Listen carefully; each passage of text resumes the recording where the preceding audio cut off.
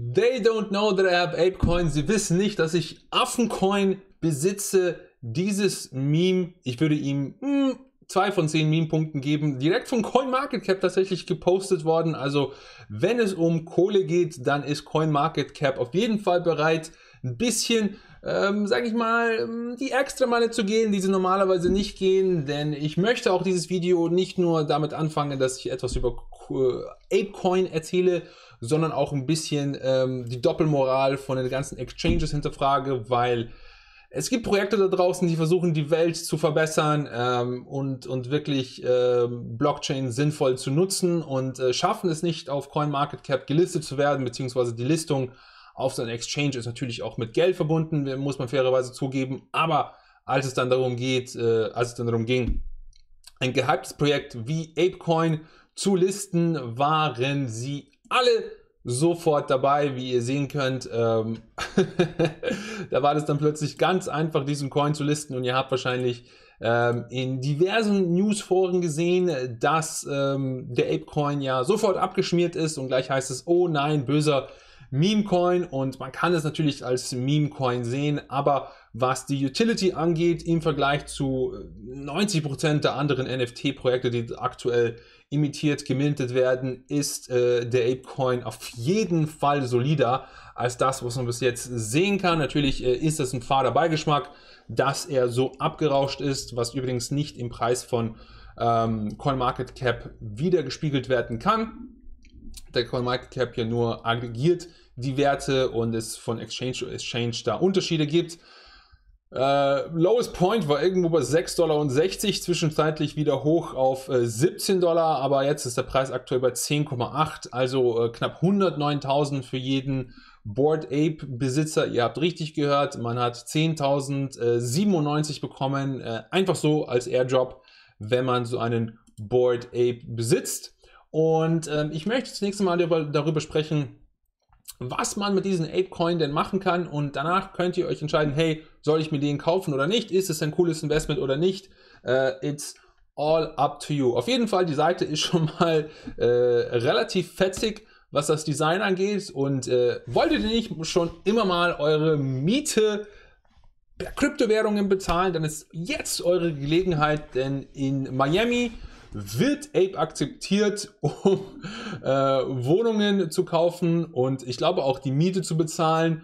Und äh, in der Bierbar ETH bekommt man 50% Rabatt, also wird man doppelt so schnell besoffen, wenn man Apecoin benutzt, um zu bezahlen. Was ich ähm, nicht tun würde, da es ein ERC20-Token ist. Und ihr wisst, da die, die Fees für Ethereum, die sind äh, kriminell. Aber es wird demnächst besser werden und das werden wir auch in meinen Videos thematisieren natürlich. Ähm, wie ich es bereits vorhin gesagt habe, äh, 1094, nicht 97 kriegt jeder, der einen Board Ape hat. Wenn man einen Muted Ape hat, dann sind es nur 2000 und äh, wenn man dann in diesem Kennel Club drin ist, dann äh, bekommt man nochmal ein wenig mehr. Hier per Metamask kann man hier die Schnittstelle nutzen um das Ganze zu claimen. Dazu hat man 90 Tage Zeit. Äh, wenn man das nicht macht, dann geht ein Teil, beziehungsweise das, was nicht geclaimed worden ist, geht an die Foundation zurück. Und ähm, neben der Tatsache, dass man sich, äh, dass man äh, Wohnungen kaufen und sich besaufen kann, mit dem Apecoin, was natürlich ähm, ganz nett ist, äh, fällt mir noch eine dritte Sache ein. Und zwar kann man damit äh, eine ähm, die äh, eine, eine Mitgliedschaft bzw. Nee, ein Abonnement vom Time Magazine äh, abschließen. Übrigens, äh, Vitalik Buterin in letzter Zeit, ich glaube, der war auf dem Cover vom Time Magazine. Wahnsinn, wie weit Crypto gekommen ist, seitdem wir 2017 angefangen haben, Videos zu drehen hier.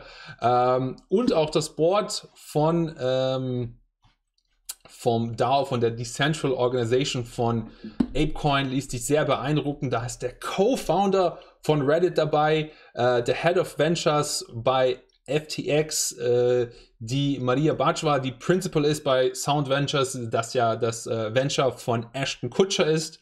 Wer von euch erinnert sich übrigens noch an Punked auf MTV damals? Äh, schreibt es mir in die Kommentare. Und äh, so sieht dann ungefähr die Verteilung aus. Äh, die Tokenomics, wenn man so möchte, 62% gehen an den Fund, an die Treasury, 60% gehen an Yuga Labs, also sozusagen die Firma von Apecoin plus Charity. Schön, dass hier auch an Charity gedacht wird.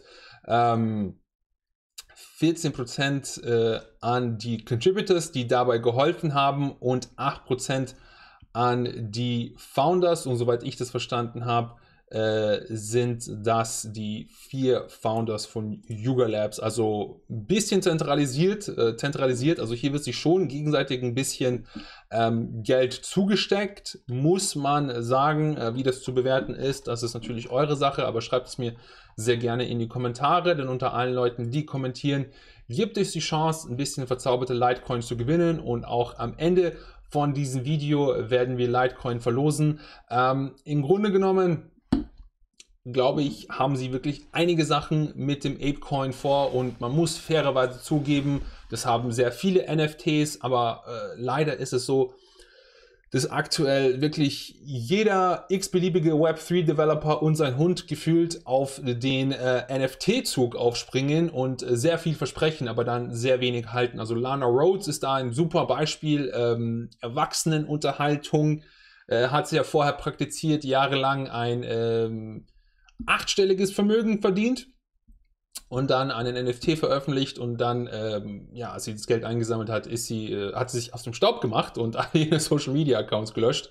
Ähm, da sehe ich die Gefahr beim Board Ape Yacht Club tatsächlich als sehr gering an, weil sie erstens mal schon sehr lange dabei sind und zweitens mal ist es einfach nur, liegt es auch im Interesse von all denjenigen, die in diesem Ökosystem drin sind, ähm, dass das Projekt wirklich erfolgreich wird und langfristig auch funktioniert. Äh, ich meine, Snoop Dogg hat gesagt, er wird sein, äh, er wird ein Mixtape exklusiv vor den, vom, äh, für den Jagdclub veröffentlichen.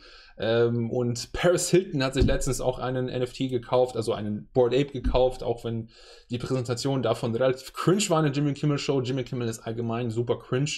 Ich hoffe, ich verwechsel gerade den ähm, Host nicht.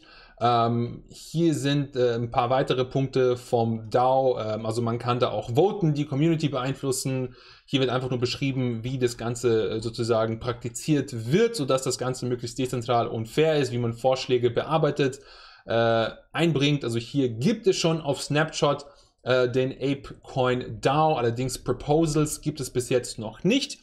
Die müssen erst kommen und ich habe euch ja bereits gesagt, dass ähm, eigentlich alle großen Exchanges von Anfang an dabei waren bei dem Listing von Board Ape Yacht Club, aber bei anderen tollen Projekten macht es ihnen schwer, finde ich nicht gut. Ich meine, man muss sich vorstellen, äh, aus dem Stand ist äh, dass dieser Coin wirklich durch einen Airdrop von der Marktkapitalisierung her über die Marktkapitalisierung von Helium gegangen und anderen ganz, ganz, ganz tollen Projekten ähm, die ich jetzt nicht einzeln aufrufen werde, aber schaut euch einfach mal an, welche Projekte sich ähm, demütigst hinter ApeCoin äh, anstellen müssen. Das muss man sich einfach mal auf der Zunge zergehen lassen. Ähm, hier noch ein paar, was ist das nochmal, ApeCoin, also das Forum, wo man dann, schätze ich mal, interagieren kann mit anderen exklusiven Besitzern. Ähm, wie ihr sehen könnt, also wenn man da bei diesem Club dabei sein möchte, da muss man schon einiges an Ethereum-Blättern, also 100 Ethereum ist da der aktuelle Floor-Price und äh, jetzt, wo ich euch einfach mal alle Informationen präsentiert habe, lasse ich hier den Trailer von einem ähm, NFT-Game äh, Other Side laufen, jedenfalls die ersten paar Sekunden davon, beziehungsweise ein Metaverse von, von den Apes.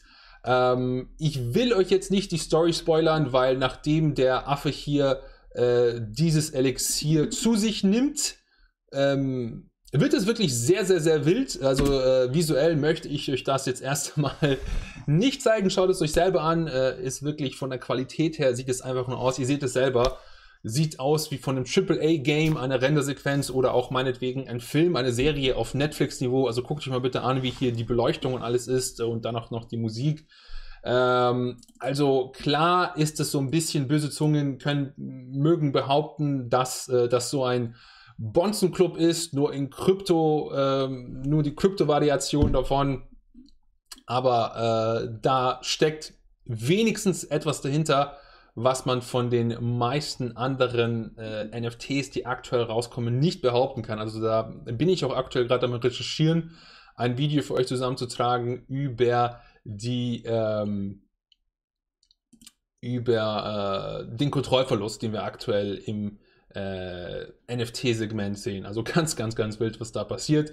Ähm, den Trailer könnt ihr euch entweder anschauen beim offiziellen ähm, YouTube-Kanal von Jagd Club oder auch hier auf Twitter von Yuga Labs, die sich ja verantwortlich zeigen für den ähm, Apecoin. Und ansonsten schauen wir uns an, was beim letzten Video kommentiert worden ist von den lieben Zuschauern. Ziehen auch direkt jemanden, der Litecoin bekommt. Also herzlichen Glückwunsch an den Kai, der mal wieder ein bisschen verzauberte Litecoin-Dollars gewinnt. Und wenn ihr auch etwas gewinnen wollt, dann kommentiert unter das Video mit eurer Litecoin-Adresse, abonniert den Kanal, um kein Video und keinen Stream zu verpassen. Wenn ihr keine Helium-Mine habt, dann checkt den Link in der Beschreibung. Die Links, dort findet ihr auch Discount-Codes etc. Kommt auf den Discord-Server und alles in diesem Video ist meine persönliche Meinung und keine Finanzberatung. Vielen Dank für die Aufmerksamkeit. Bis bald. Ciao.